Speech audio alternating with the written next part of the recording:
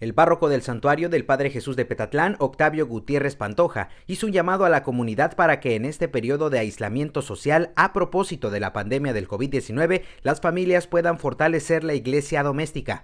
En una transmisión de Facebook, el párroco dijo que aunque no se lleven a cabo actividades religiosas alusivas a la Semana Santa, eso no debe ser impedimento para que entre las familias se busque poner en práctica el mismo propósito, el alimento del espíritu. Añadió que dentro de cada hogar, quienes se encuentran acatando las medidas sanitarias deben fomentar la oración y convivencia familiar. Es momento de fortalecer lo que llamamos iglesia doméstica, es decir, cada familia independientemente la religión que profese.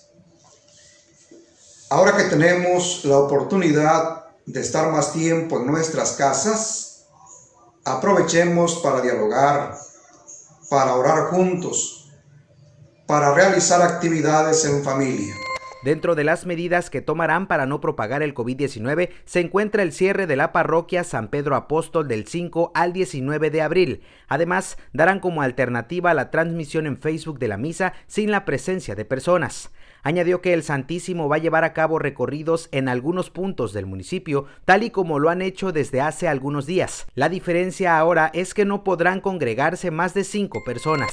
El santuario permanecerá cerrado durante la Semana Santa y la primera semana de Pascua, es decir, del 5 al 19 de abril del año en curso. Finalmente precisó que las personas que tengan intenciones de acción de gracia o peticiones pueden hacerlas a través de la página de Facebook. Además, pidió a las personas que tengan la posibilidad de donar despensas que lo hagan directamente o a través de la iglesia. Si alguna familia está en posibilidades de donar una despensa a quienes no tengan para comer durante estos días, háganlo. Isaac Castillo, Mega Noticias.